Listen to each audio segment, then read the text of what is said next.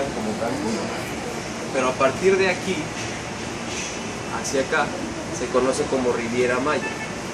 Entonces, lo que ustedes encuentran aquí, en, la provincia de Yucatán, es eh, el piso es tan poroso que no hay ríos.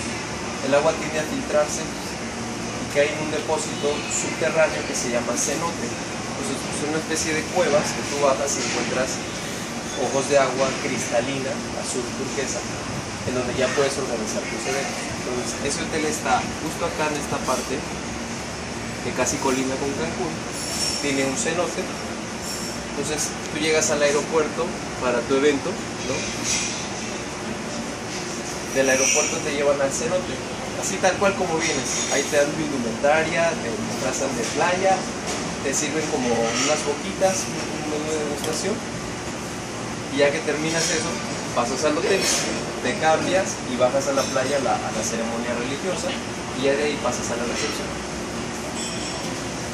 ¿Permiso? ¿Ya quedó el montaje? ¿Ya listo?